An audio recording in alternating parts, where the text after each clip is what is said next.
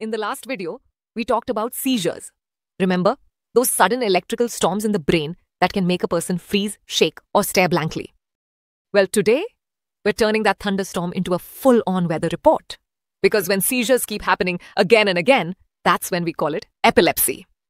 Welcome to this episode of the Disease Decoded series at Doc Decoded. So grab your cup of coffee or your EEG machine, just kidding, and let's dive in.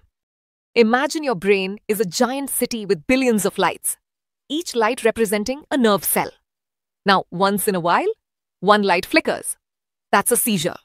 But if it keeps happening, like a power grid malfunction, that's epilepsy. Today, we'll decode what causes it, the overview of its management, and most importantly, why living with epilepsy is not the end of the world. But before that, hit that subscribe button and turn on the bell icon because your brain deserves weekly updates not just electric ones.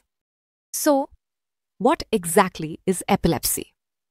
You might think epilepsy is one disease, but actually, it's a group of conditions where a person has repeated seizures that aren't caused by temporary things like fever, low sugar, or alcohol withdrawal.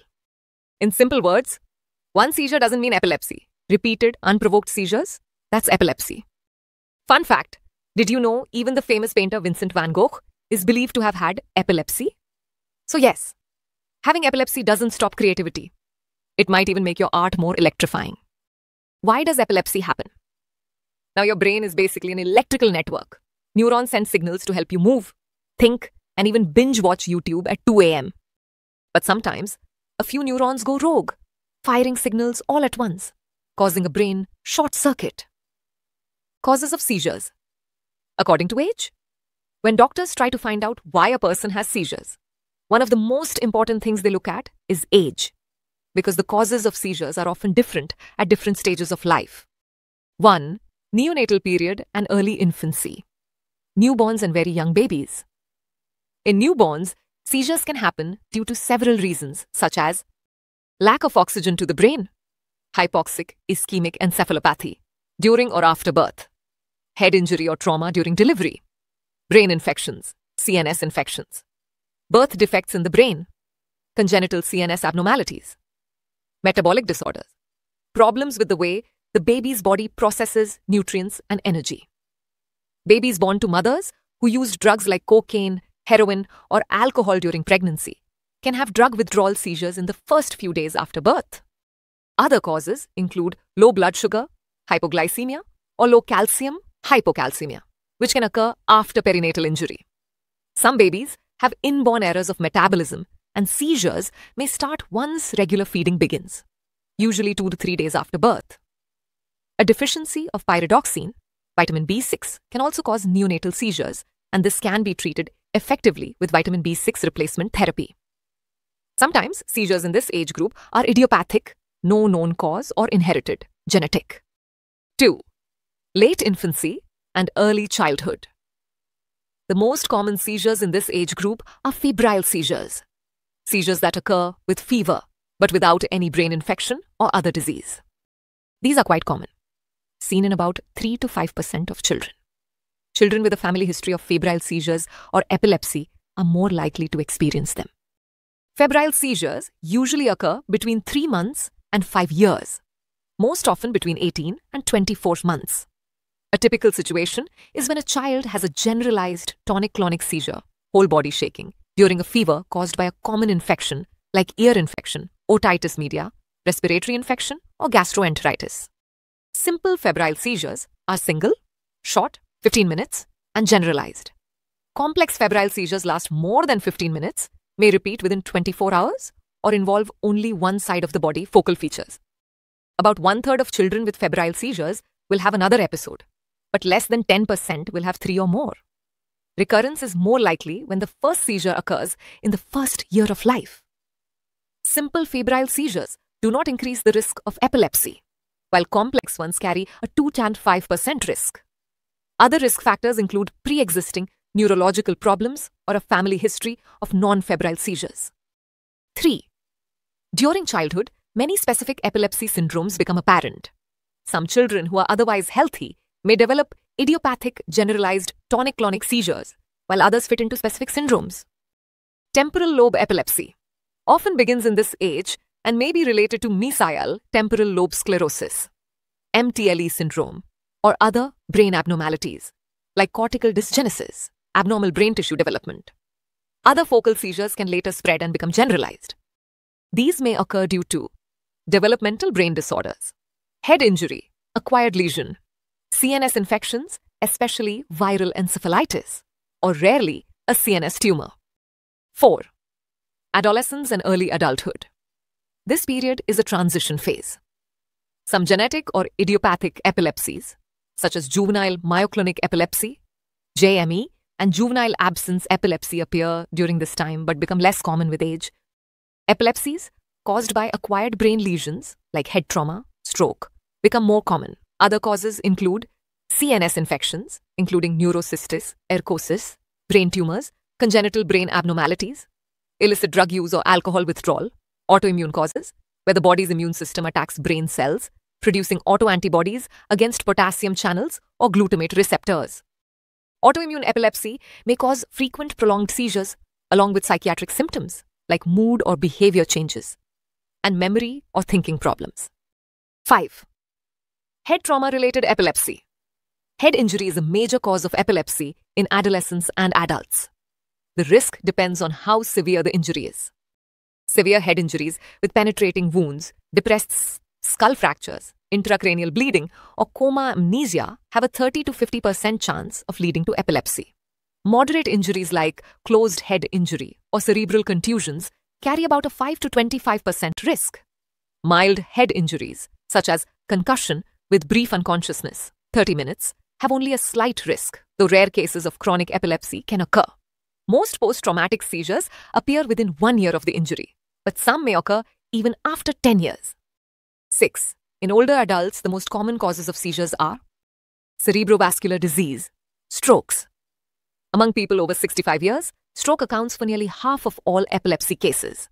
Acute seizures occur soon after a stroke, especially embolic strokes, while chronic seizures develop months or years later after any type of stroke, hemorrhagic or thrombotic. Subdural hematoma, brain tumors, CNS tumors, degenerative brain diseases like Alzheimer's disease, also cause seizure in older adults. 7. Metabolic and systemic causes, all ages. Certain metabolic problems can also trigger seizures, such as electrolyte imbalance, abnormal sodium, calcium, or potassium levels, low or high blood sugar, kidney failure, renal failure, liver failure, hepatic failure, endocrine or blood disorders like anemia, vasculitis. Some medications and substance abuse can also lower the seizure threshold and cause seizures. It's like your brain having its own DJ party. But instead of beats, it's firing off electrical impulses randomly. Have you ever witnessed someone having a seizure? What did you do in that situation? Comment below. Let's see how many of you actually knew what to do and how many just froze like a statue. We've already discussed. Watch from the end screen. If this is making your brain light up with curiosity, give this video a thumbs up. Helps me fight the YouTube algorithm seizures. Have you heard some prevalent misconceptions or fear facts about epilepsy as you? People with epilepsy can't lead normal lives. It's totally wrong. With proper treatment, most people live absolutely normal lives. Go to school, drive, if seizure free, marry, and even become doctors or YouTubers. Just be in observation and precautions from a dangerous environment. A fun fact for you Julius Caesar, the famous Roman emperor, is believed to have had epilepsy and he still managed to rule an empire. So, yeah, if he could manage Rome, you can manage life. How is epilepsy diagnosed? Diagnosing epilepsy isn't about guesswork. Doctors use science, not astrology. Tests include EEG, electroencephalogram, to detect abnormal electrical activity, MRI or CT scan, to check for structural brain problems, blood tests, to rule out infections or other triggers.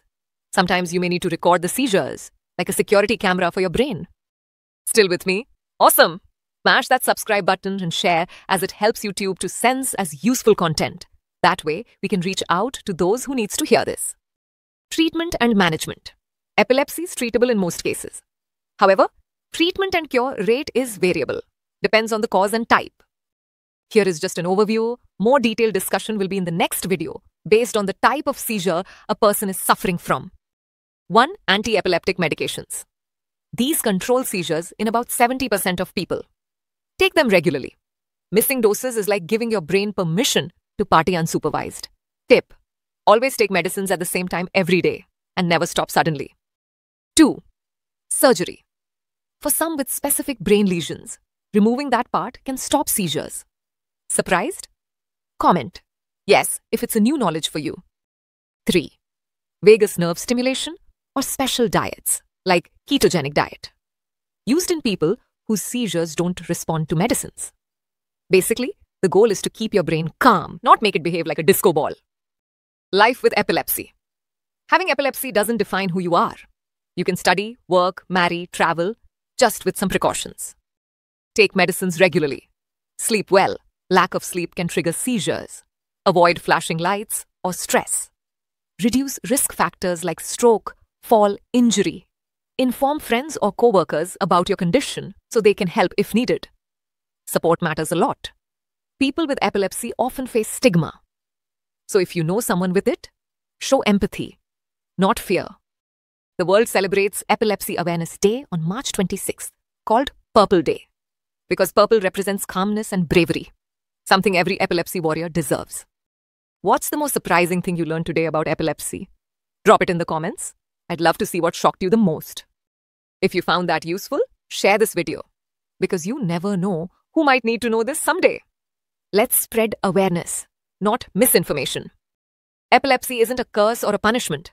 It's a neurological condition that's absolutely manageable with proper care. People with epilepsy can dream big, achieve great things, and live fully. And if you or someone you know has epilepsy, remember, the goal is not to hide it, but to understand it. That's it for today's episode of Doc Decoded. And here's your brainy reward. Fun fact to end with. Dogs can actually be trained to detect seizures before they happen some people call them seizure alert dogs. How cool is that? Maybe my dog just predicts when I open a packet of chips. But hey, close enough. Stay healthy, stay curious, and see you next time on Doc Decoded, where we decode health, one myth at a time.